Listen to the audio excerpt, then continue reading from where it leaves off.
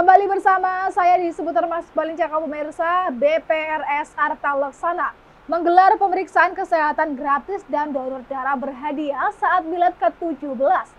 Sejumlah masyarakat pun terlihat antusias dan berbondong-bondong mendatangi kantor BPRS Arta Laksana di Purwokerto.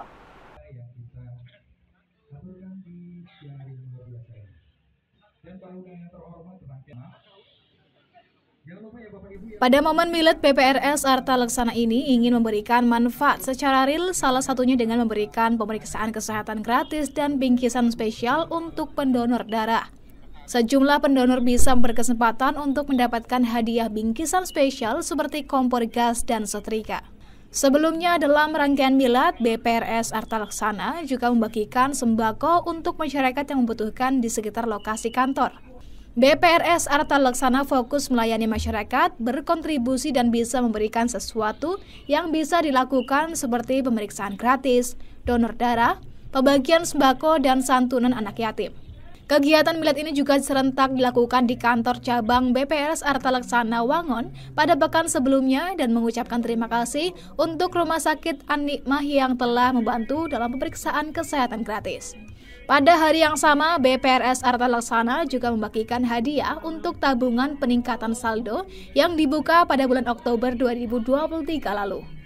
Nasabah yang membuka tabungan ini dan dananya bersedia untuk di-hold sampai akhir tahun 2023 berhak mendapatkan hadiah menarik. Tahun ini BPRS Arta Laksana akan terus mensosialisasikan visi misi baru agar masyarakat mengenal Arta Laksana sebagai lembaga keuangan syariah yang tanpa riba, tanpa bunga. Di masyarakat masih berkembang bahwa bank syariah masih sama dengan bank konvensional padahal berbeda. Assalamualaikum warahmatullahi wabarakatuh. Arta Laksana hari ini berusia 17 tahun. Uh, saya sebagai direksi menggarisbawahi bahwa bank syariah itu tidak sama dengan bank konvensional.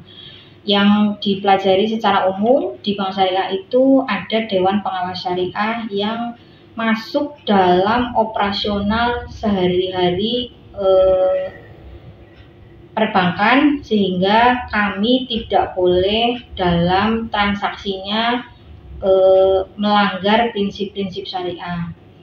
Eh, bank syariah itu adalah industri yang menerapkan perekonomi, perekonomian yang eh, diperbolehkan oleh Al-Quran dijalankan sebagai eh, bagian dari keseharian hidup manusia dipraktekkan di eh, sebuah proses yang pada akhirnya menghasilkan produk-produk yang tidak melanggar prinsip-prinsip yang diatur oleh agama Islam.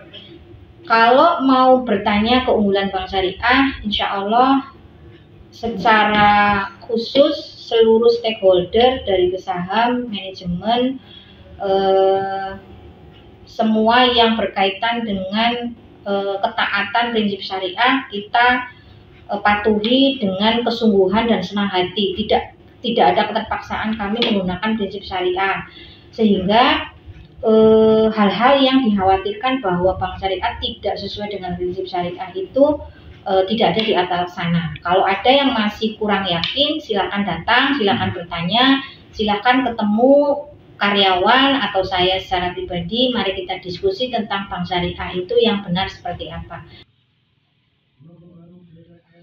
Tak main-main, BPRS Arta Laksana benar-benar menerapkan prinsip syariah dalam setiap transaksi yang dilakukan. Contohnya dalam memutuskan pembiayaan, ada Pak Kiai yang datang dalam rapat komite. Misalnya, waktu dulu pernah ada pengajian pinjaman untuk usaha garmen, ternyata setelah ditelusuri ternyata penggunaan hasil garmen tersebut mayoritasnya adalah pekerja PL. Sehingga Pak Kiai tidak menyetujui usulan tersebut.